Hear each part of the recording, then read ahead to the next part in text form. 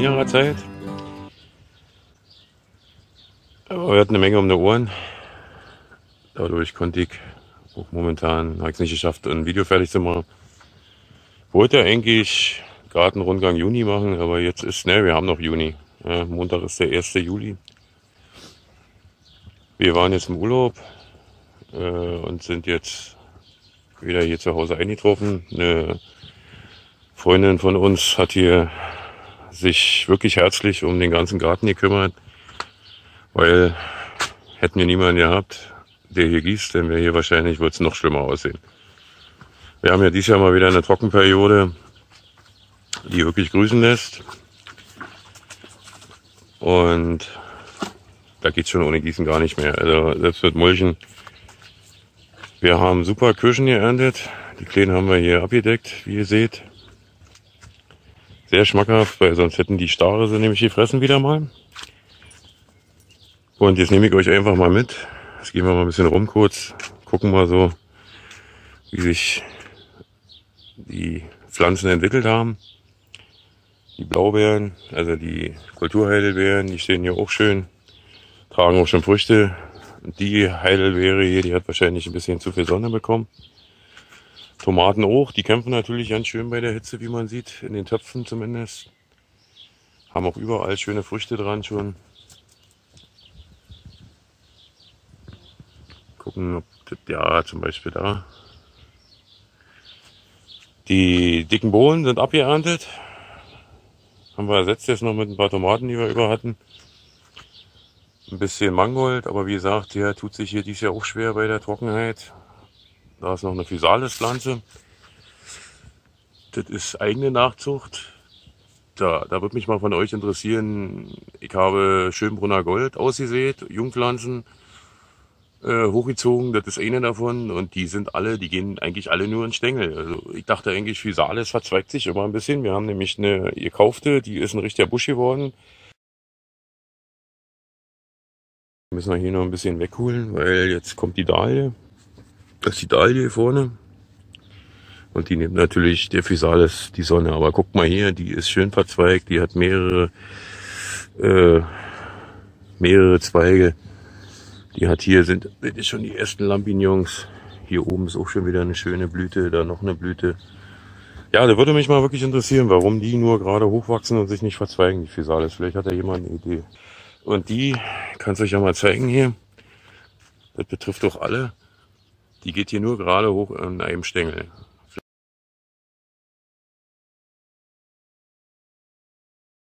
Weil Lampignons haben sich hier noch nicht gebildet, nix.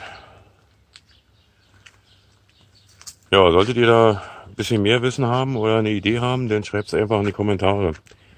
Also die Rosen blühen ja dieses Jahr wirklich wundervoll. Hier hängt, obwohl die Sauerkirsche kaum Blätter hatte, hier hängt alles voll Kirschen dieses Jahr. Dahinter die schöne Buschrose, ist auch wunderschön geworden. Die Pfingstrosen haben super geblüht dieses Jahr. Hier haben wir noch ein paar Tomaten im Kübel. Weil ich sagte, ich hatte so viele Tomaten, ich wusste nicht mehr wunder mit. Hier haben wir auch wieder so eine Physalis, die ist genauso gewachsen. Kirschen über Kirschen. Also Sauerkirschen werden wir wohl nächste Woche auch verarbeiten müssen, sonst sind die Vögel wieder schneller. Die Rosen, hier auch eine unserer schönsten. Super schöne Duftrose.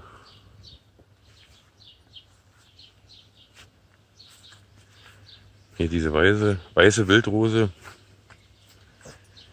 Der Kirschbaum hier mickert ganz schön, trotz Behandlung. Vielleicht hau ich noch weg, weil irgendwie will er nicht wachsen. Das ist das dritte Jahr. Und derzeit ist der andere dreimal so groß geworden. Hier haben wir den Wein, da freue ich mich am meisten dieses Jahr, weil der hat vorher ja nicht getragen. Der ist jetzt zwei Jahre alt. Und wie man sieht, hier hängt alles voll mit Wein. Muss die natürlich noch ein bisschen freischneiden dass man da auch, dass die Sonne ein bisschen mehr an die Reben rankommt. Alles ein wunderschönes Bild hier. Der klettert hier so richtig schön hoch.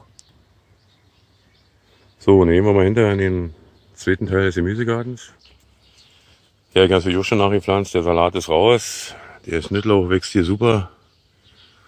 Das sind die letzten Salate, die jetzt in die Höhe schießen. Die kriegen jetzt auch die Wachteln. Und der Kaninchen Kohlrabi ist sehr lecker. Die haben wir auch schon oft jetzt äh, gegessen. Schmecken wirklich ein Hammer, die Sorte.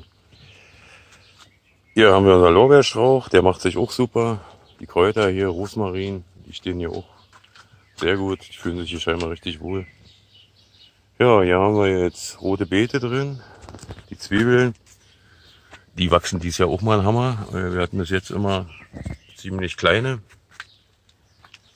Erdbeeren sind abgeerntet. Die sind dies Jahr hier mehr ins Kraut geschossen. Warum auch immer. Vielleicht zu viel Dünger. Die Stachelbeerbeere hängt knackenvoll mit Früchten.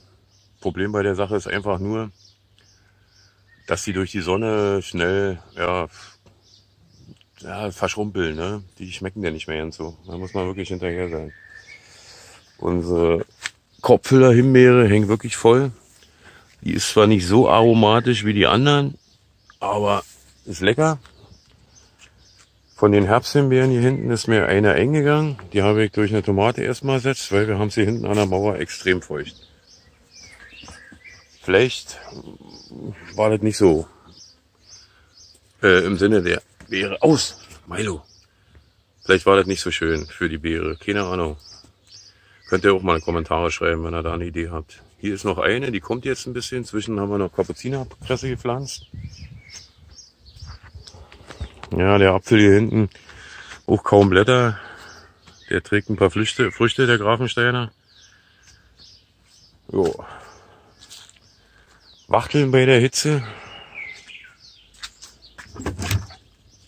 Sehr gefährliche Sache. Ich habe den hier mal Sandbad jetzt neu gemacht und habe den einfach mal ein bisschen angefeuchtet, dass die sich ein bisschen abkühlen können. Ich muss sagen, unsere Wachteln hier hinten haben es wirklich gut, weil es hier noch relativ schattig ist. Eier legen sie auch fleißig. Die kriegen jetzt immer ein bisschen Salat, frisches Wasser viel und dürfen nachher vielleicht auch mal wieder raus. Ja. Schade. Mal gucken, ob ich noch ein paar Bilder habe von den Malven. Die waren ja Wahnsinn dieses Jahr. Also diese Malven, die muss ich euch auch noch mal zeigen. Die sind von vorhin ja. Das ist ja die wahre Pracht geworden. Das ist ja hier wie so ein Malvendschungel mittlerweile. Wie ich in den letzten Beiträgen ja gebracht habe, sollte das eigentlich diese Bienenwiese werden. Ja, von der Unteraussaat ist nicht mehr viel übrig. Bisschen Fazilia kommt hier durch. Aber umso schöner überraschen die Malmen. Das ist doch eine Pracht. Das ist ja wie ein Dschungel. Wie gesagt, über zwei Meter hoch die größte. Es ist Wahnsinn.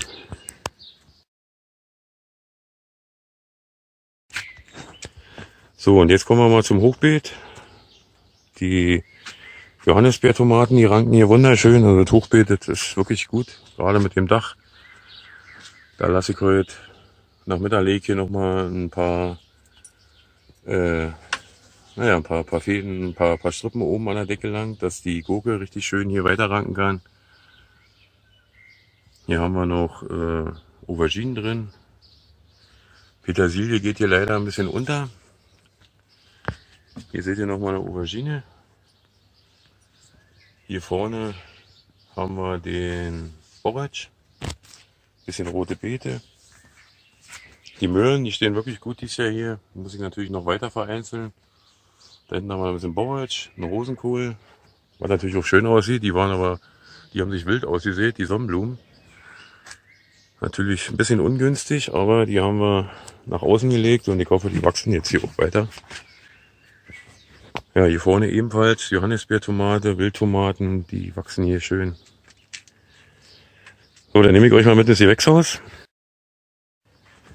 Hier haben wir Schlangengurken, verschiedene Kastengurken. Die machen sich auch gut. Die muss ich jetzt langsam hochbinden. Hier ist noch eine Tomate im Topf. Hier hinten haben wir die Melonen. Ja, ich weiß noch nicht, was was ist. Wir haben Honigmelone und Wassermelone. Muss ich mal nachgucken, was hier was ist. Weil die eine Sorte wächst natürlich besser. Die werden jetzt alle noch hochgebunden.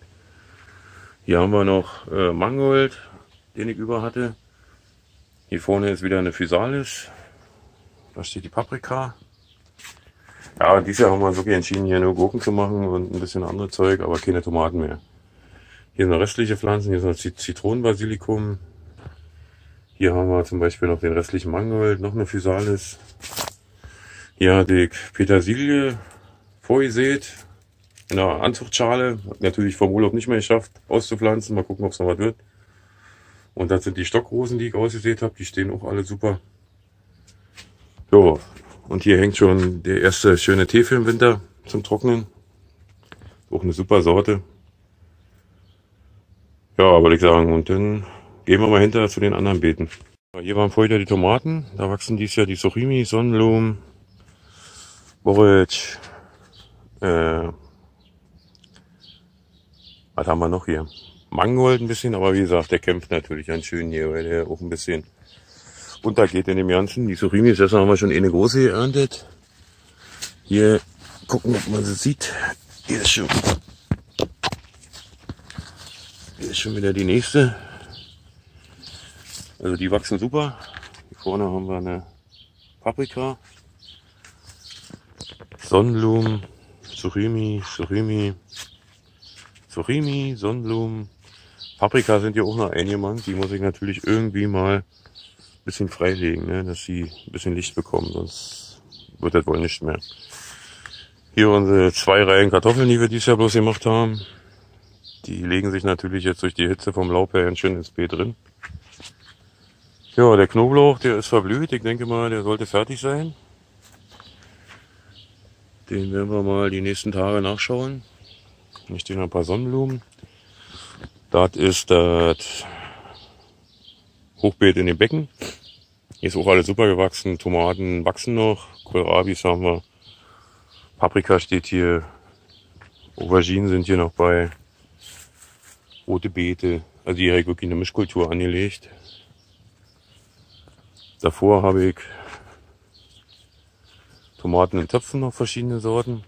Die machen sich auch sehr gut hier. Die muss ich nachher auch erstmal hochbinden. Hier hinten ist auch noch eine Zucchini-Pflanze. Gucken, da schon mal dran ist. So weit war ich noch nicht. Hier hinten steht der Rosenkohl. Also bis jetzt ohne Netz super gewachsen. Sonnenblumen. Äh, Buschtomaten. Der Blumenkohl leider nicht das Wahre. Da wird auch nicht mehr viel rankommen. Der ist auch mehr ins Blatt geschossen. Keine Ahnung, ob das wirklich an zu viel Dünger liegt, obwohl wir dieses Beet eigentlich nicht groß gedüngt haben. Dann noch Kohlrabi. Hier haben wir noch äh, Aubergine, Tomaten, wie gesagt, Rosenkohl. Ja, und jetzt natürlich das Tomatenzelt. Hier ist natürlich alt geschossen, wirklich geschossen.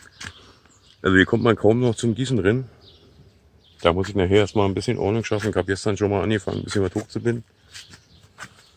Die Sonnenblume, die stand vor dem Wachtelstall.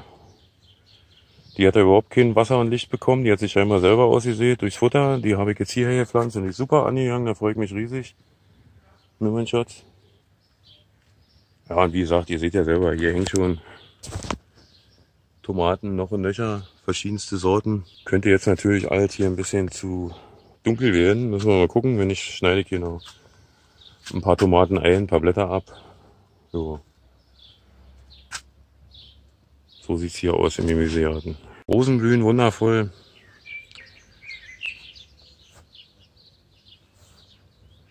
Stehen noch alle richtig schön. Voller Blüten. Ja, den Pfirsich habe ich wahrscheinlich mit meinen Mitteln einigermaßen gerettet. Weil wie gesagt, die Blätter sehen nicht mehr so nach Kräuselkrankheit aus. Und wir haben hier natürlich auch schon sehr viele Pfirsiche dran zu hängen. Mal gucken, ob die was werden.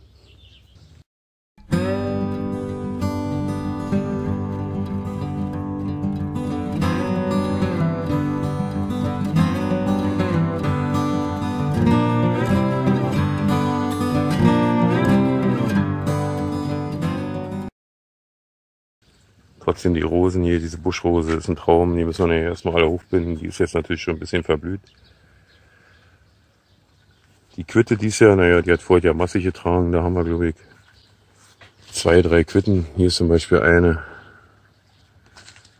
Aber für ein bisschen Gelee reicht es dies Jahr auch. Wir haben noch von vorhin ja was. Hier Ich komme jetzt nicht auf den Namen. Die ist richtig in die Höhe gegangen dieses Jahr. Die steht hier hinten so ein bisschen versteckt zwischen Bachlauf und Teich. Hier ist Milos Klärbecken. Hier springt er mal rein, um sich zu erfrischen. Aber ist auch ein super Biotop, wie ihr seht. Frösche über Frösche.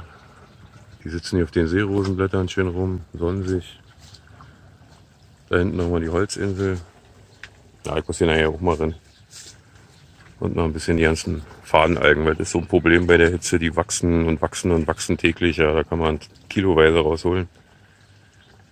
Ja, Rasen brauche ich wohl nicht zeigen bei dem Wetter. Das ist alles sehr vertrocknet. Aber ich sag mal, im Großen und Ganzen ist das schon okay. Ja, jetzt der Kirschbaum, der ist abgeerntet. Da haben wir dieses Jahr sogar selber mal von abgekriegt. Waren die Vögel nicht schnell genug. Und die waren super. Also da freue ich mich richtig. Und dieser Baum ist jetzt vier Jahre alt. Wenn man den im Vergleich den anderen da hinten sieht mit drei Jahren, ist das schon ein Unterschied. Aber das ist wahrscheinlich auch eine Frage der Veredelung und na, teilweise auch Baumarktware. Hier ist noch unsere Kletterrose, die letzten Blüten. Die hat auch schön in Blüte gestanden. Jo,